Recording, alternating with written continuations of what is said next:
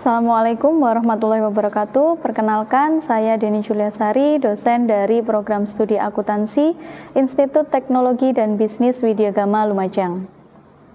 Spesialisasi saya adalah mengajar mata kuliah di bidang akuntansi.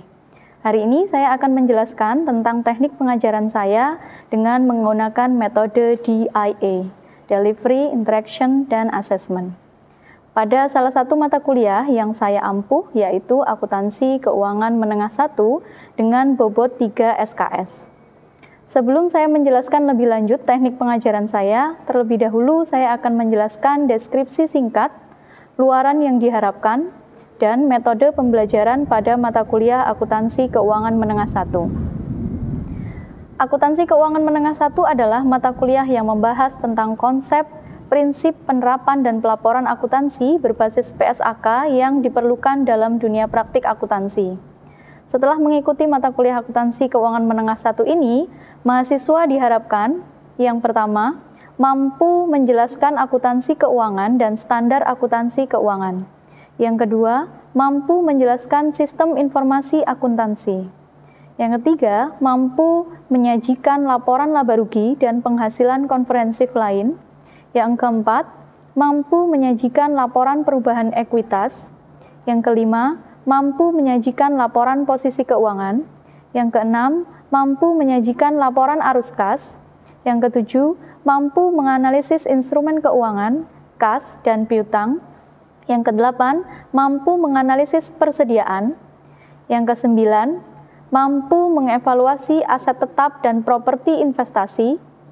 Yang kesepuluh, mampu menganalisis depresiasi dan penurunan nilai, mampu menganalisis aset tidak berwujud, dan mampu mengevaluasi aset tidak lancar yang dimiliki untuk dijual. Teknik pengajaran saya menggunakan metode DIA. Yang pertama adalah delivery, yakni bagaimana saya menyampaikan perkuliahan kepada mahasiswa. Ada dua strategi yang saya gunakan dalam menyampaikan perkuliahan. Yang pertama, menyampaikan dengan menggunakan textbook. Textbook yang saya gunakan merupakan karangan dari Kiso dan kawan-kawan yang berjudul Intermediate Accounting, serta Dwi Martani yang berjudul Akuntansi Keuangan Menengah. Yang selanjutnya, saya juga menggunakan pembahasan case study di kelas setiap minggunya. Saya meminta mahasiswa untuk menyelesaikan sebuah case study dan membuat rangkuman setiap materi secara individu untuk dipresentasikan dan yang presentasi akan saya acak dengan cara ini saya yakin bahwa akan efektif karena membuat mahasiswa dipaksa untuk mempersiapkan diri karena setiap orang mempunyai peluang yang sama untuk maju setiap minggunya. Teknik yang kedua yakni interaction. Ini adalah bagaimana saya berinteraksi dengan mahasiswa. Dalam perkuliahan saya ada beberapa saluran komunikasi yang saya gunakan. Yang pertama, di dalam kelas, saya selalu memotivasi mahasiswa untuk bertanya, mengemukakan isu-isu di kelas agar proses belajar mengajar berjalan komunikatif dan dua arah. Berikutnya, saya juga menggunakan media WhatsApp sebagai sarana berdiskusi di luar kelas. Terakhir adalah metode assessment. Ini adalah bagaimana saya menilai mahasiswa. Pada pertemuan pertama, di perkuliahan, saya selalu menjelaskan kontrak perkuliahan yang kita sepakati bersama antara pengajar dan mahasiswa. Di dalam kontrak kuliah tersebut memuat cara saya menilai dan bobot penilaian saya terhadap mahasiswa, sehingga mahasiswa dipastikan tahu lebih awal dan diharapkan bisa membuat strategi agar perkuliahan mereka berjalan lancar dan mendapatkan nilai yang memuaskan. Skema penilaian saya terhadap mahasiswa partisipasi 15%, kehadiran 20%, kuis 20%, UTS 15%, dan UAS 30%.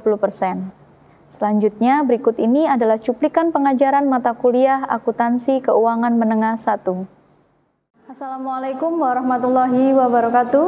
Waalaikumsalam warahmatullahi wabarakatuh. Gimana kabarnya? Sehat semua? Sehat. Alhamdulillah. Tugasnya sudah dikerjakan untuk tugas minggu lalu? Sudah. Sudah ya.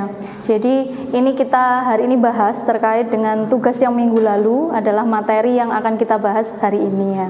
Karena sudah dirangkum jadi langsung saja kita bahas terkait dengan laporan arus kas.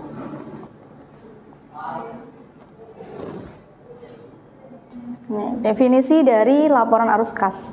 Arus kas sendiri itu apa sih? Seperti yang kita tahu ya, di dalam laporan keuangan itu ada lima komponen ya, ada laporan laba rugi dan perubahan uh, laporan laba rugi dan pendapatan komprehensif, kemudian ada laporan perubahan ekuitas, ada laporan posisi keuangan, ada laporan arus kas dan catatan atas laporan keuangan. Sehingga bisa didefinisikan bahwa laporan arus kas adalah laporan keuangan yang menyajikan terkait dengan arus kas yang masuk dan keluar dari suatu aktivitas operasional pada suatu entitas pada periode tertentu. Itu adalah definisi dari laporan arus kas. Yang selanjutnya apa sih manfaatnya laporan arus kas?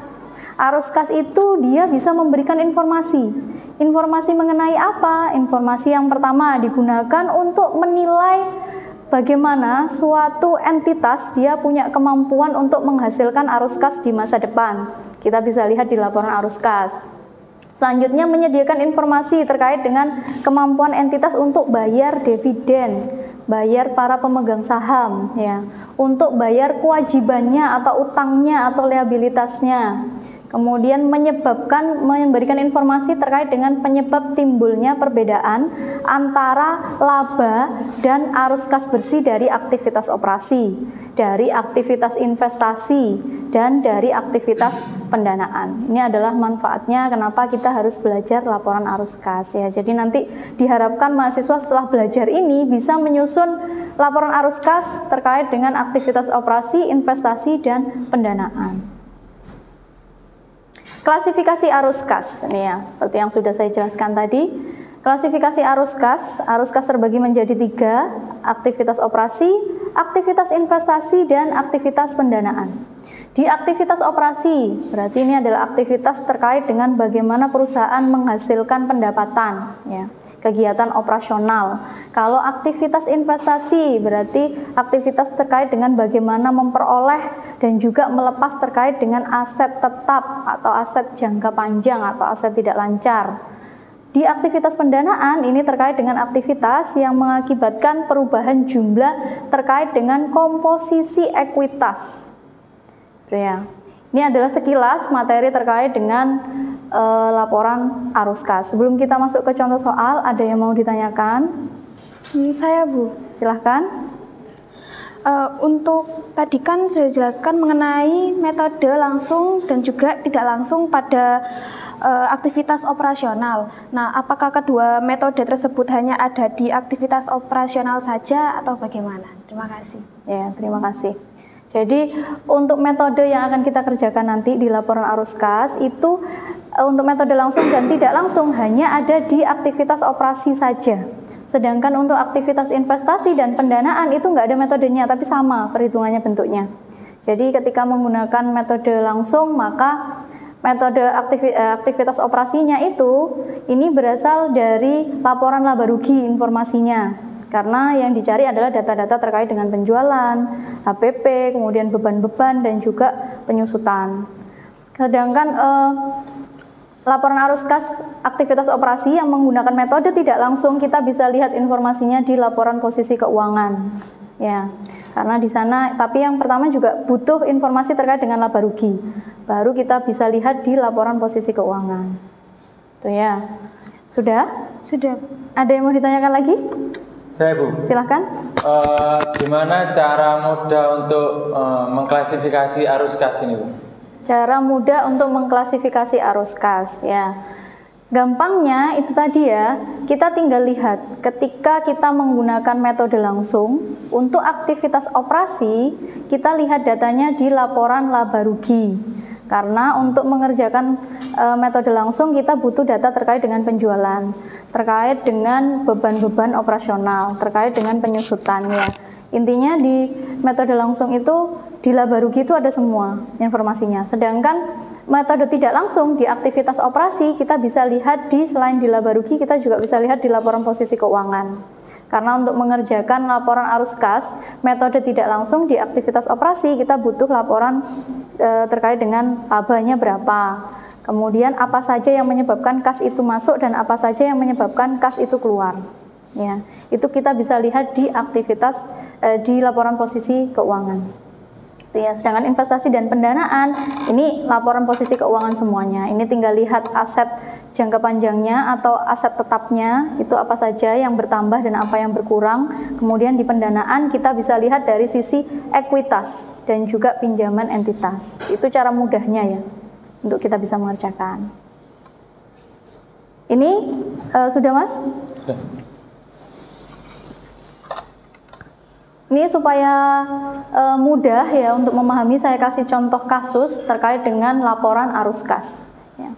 Informasi yang pertama diasumsikan bahwa perubahan saldo akumulasi penyusutan hanya disebabkan oleh pencatatan pengakuan beban penyusutan tahun berjalan saja. Jadi di sini diinformasikan adanya perubahan penyusutan hanya memang karena metode pencatatannya memang harus bertambah, harus disusutkan setiap tahunnya. Yang kedua, perubahan akun saldo laba disebabkan oleh pengakuan laba bersih dan pembagian dividen. Jadi diasumsikan bahwa tahun ini kita memperoleh laba ya. Kemudian ada laba yang dibagikan dalam bentuk dividen. Laba yang dibagikan dalam bentuk dividen senilai 138 juta.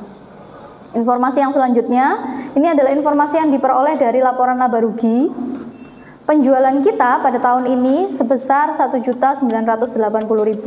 Kemudian beban pokoknya dari barang yang terjual itu senilai 1.089.000. Jadi diketahui laba kotor kita senilai 891.000.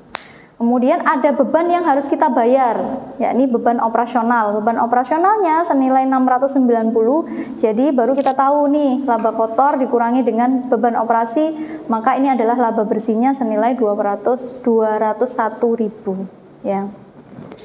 Ini informasi yang sudah diasumsikan atau yang tersedia. Kemudian informasi berikutnya diperoleh dari laporan posisi keuangan Laporan posisi keuangan ini e, komparatif, jadi ada tahun saat ini, ada tahun sebelumnya. Ya, jadi kita harus tahu juga e, tahun sebelumnya. Untuk apa? Untuk memudahkan kita membuat laporan arus kas. Karena informasinya diperoleh dari selisih antara tahun saat ini dengan tahun sebelumnya.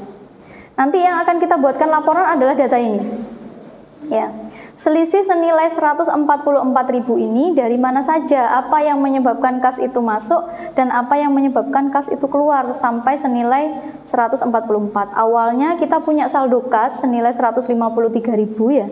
Kemudian naik tahun ini menjadi 297.000, naik senilai 144. Nah, ini akan kita buatkan laporannya. Arus kas senilai 297.000 ini dari mana saja? Ya. Yang pertama yang harus kita lakukan langkahnya adalah menghitung selisih antara laporan posisi keuangan saat ini dengan laporan posisi keuangan tahun sebelumnya. Ya.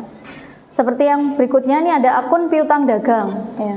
Awalnya di tahun sebelumnya senilai 117.000, kemudian sekarang menjadi 159. Berarti di sini naik atau turun? Naik ya. Ketika di sini naik, maka di sini ditandakan positif ya. Kemudian yang selanjutnya ada akun persediaan. Awalnya senilai 180.000, sekarang menjadi 150.000. Naik atau turun? Turun. Turun ya. Nah, ketika turun maka ditandai dengan ini ya, posisi minus ditandai dengan dalam kurung. Itu artinya berkurang. Perlengkapan juga gitu dan seterusnya, tinggal dihitung saja selisihnya. Kalau sudah kita ketahui selisihnya, maka kita bisa membuat laporan arus kas. Yang pertama adalah laporan arus kas terkait dengan aktivitas operasi menggunakan metode langsung. Cirinya kalau menggunakan metode langsung, ini yang pertama adalah penjualan. Karena kita memperoleh pendapatan, kas masuk kita peroleh dari penjualan. Penjualan kita masukkan, kita lihat di datanya sebelumnya. Di sini diketahui penjualannya senilai 1.980. Kita masukkan di sini kas yang kita peroleh dari penjualan. Jadi bertambah kasnya senilai sekian. Apa saja yang menyebabkan kas itu berkurang? Ya, salah satunya terkait dengan penjualan itu adalah piutang. Ya, karena di penjualan itu tidak semua penjualan akan terjual secara tunai. Ada juga yang terjual secara kredit. Kalau terjual secara kredit berarti kita nggak menerima kas. Kalau kita nggak menerima kas berarti kasnya berkurang. Kita lihat di data piutang yang ada kaitannya dengan penjualan. Di sini piutang awalnya 117.000 jadi 159, naik ya. Naik senilai 42.000. Nah, ketika piutang ini naik, Berarti dia menandakan bahwa penjualan tahun ini banyak yang penjualannya secara kredit. Kalau penjualannya secara kredit berarti kita nggak menerima uang. Kalau nggak menerima uang berarti di sini mengurangi kas. Ya, penjualan dikurangi dengan kenaikan piutang. Selanjutnya kalau sudah ada barang yang terjual di penjualan pasti ada harga pokoknya. Kita lihat di harga pokok. Harga pokok tahun ini diasumsikan senilai 1 juta 889 ribu ya. 1 juta 89 ribu.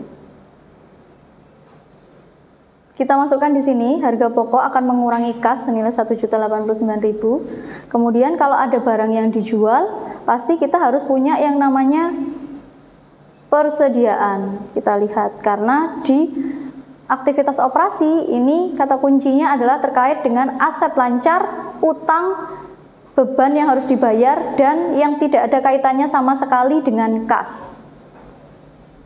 Kita lihat ke sini, ke persediaan.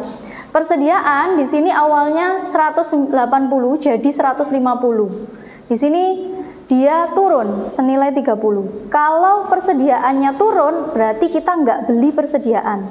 Kalau tahun ini kita nggak beli persediaan, berarti kas kita bertambah karena kita nggak beli persediaan. Jadi di sini penurunan persediaan dia akan menambah kas. Aset lancar yang selanjutnya kita ke perlengkapan dari 27 menjadi 18.000. Ya, di sini mengalami penurunan perlengkapannya ya senilai 9.000. Berarti kalau perlengkapannya menurun berarti tahun ini kita nggak beli perlengkapan. Kalau kita nggak beli perlengkapan berarti kas kita akan bertambah, maka penurunan perlengkapan akan menambah kas. Ya. Selain aset lancar, kita ke utang yang kaitannya dengan utang dagang. Utangnya yakni awalnya senilai 168.000, sekarang jadi 153.000.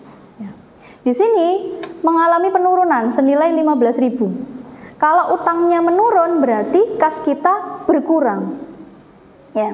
Karena kenapa kalau kita nerima utang berarti kita nerima uang dari utang tersebut. Kalau kita nggak berhutang berarti kita berkurang kasnya. Di sini utang dagang berkurang. Ya, makanya di sini penurunan utang dagang dia berkurang mengurangi kas senilai 15.000. Terus kita ke selanjutnya, beban operasi. Beban operasi kita peroleh informasinya dari laporan laba rugi. Di sini diketahui beban operasinya 690. Karena kita bayar beban operasi, maka mengurangi kas senilai 690 ya.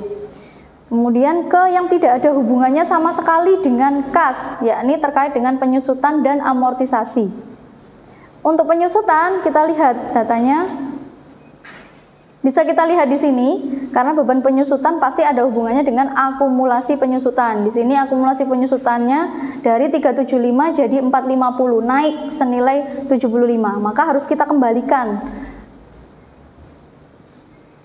Kita kembalikan ke sini beban penyusutan naik, dia menambah kas karena awalnya kita kurangi bebannya, padahal nggak dikurangi. Kemudian selanjutnya ada Terkait dengan hak paten, berarti di sini ada amortisasi, ada penyusutan aset tidak berwujud, ada surat berharga ya.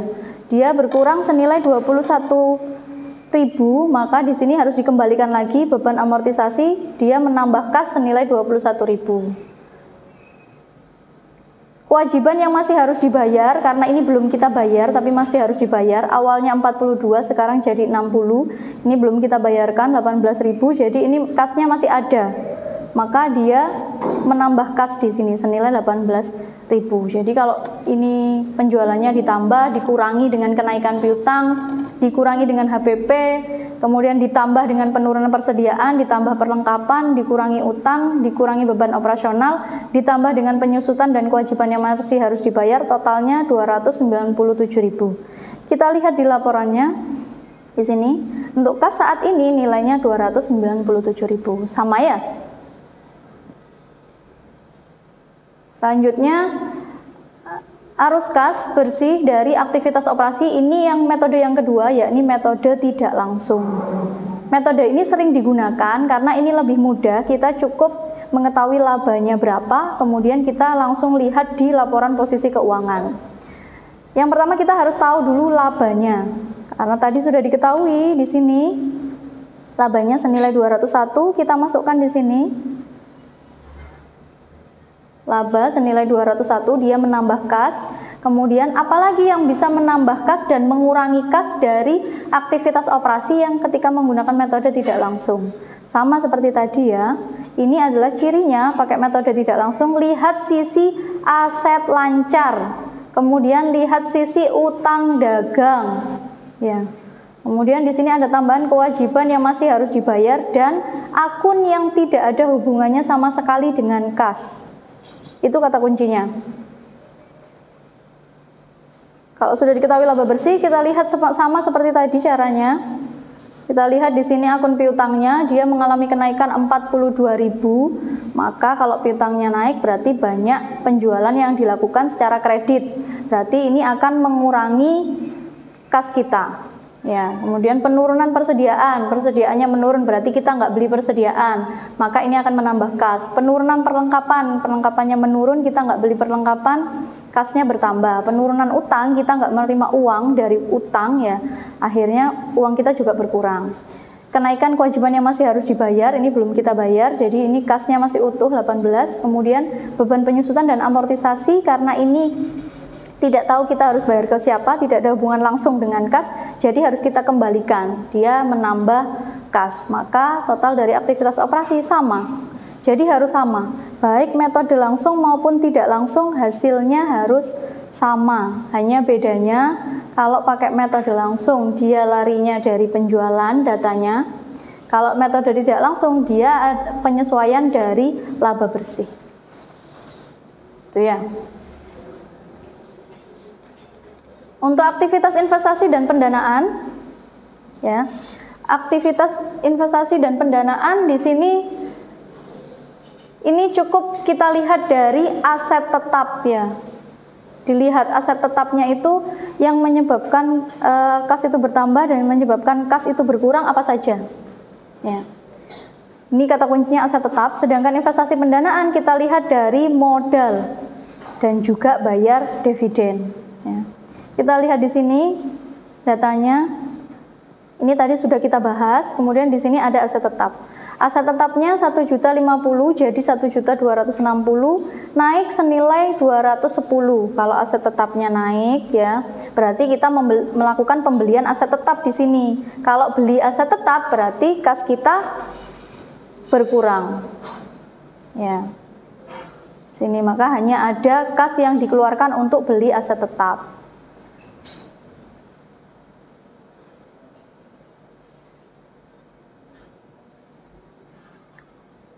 Ini sudah hak paten, utang dagang kewajiban, dan wesel bayar jangka panjang. Nah ini berarti dia terkait dengan wesel, modal saham, modal biasa, premium, ini adalah kaitannya dengan pendanaan.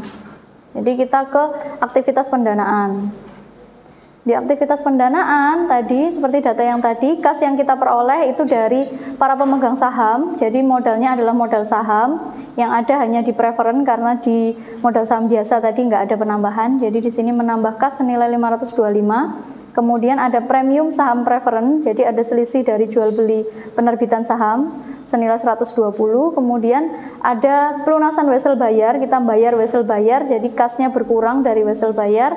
Kita bayar dividen kepada para pemegang saham, jadi kasnya berkurang. Ini totalnya dari aktivitas pendanaan. Jadi nanti silakan digabung jadi satu. Kalau menggunakan metode langsung berarti aktivitas operasinya yang dihitung pakai metode langsung, kemudian investasinya tambahkan ini, pendanaannya tambah ini. Kalau yang laporan arus kas metode tidak langsung berarti pakai yang perhitungan metode tidak langsung untuk aktivitas operasi, investasinya tambahkan ini, pendanaannya tambahkan ini. Ini ada kuis yang bisa dikerjakan, jadi silahkan ini dicoba untuk dikerjakan. Nanti siapa yang sudah selesai bisa dikerjakan di depan ya. Ada yang sudah selesai? Saya sudah, Bu. Silahkan.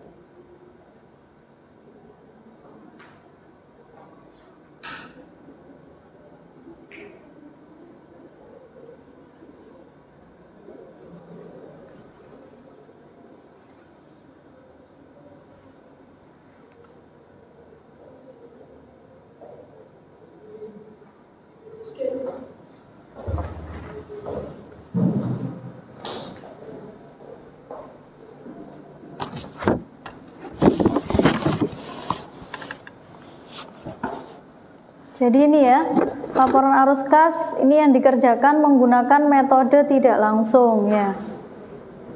Ada dari aktivitas operasi, ini ada laba komprehensif, kenaikan piutang, kenaikan utang usaha, kenaikan persediaan, beban penyusunan peralatan, kendaraan, dan operasi. Ini sudah benar ya?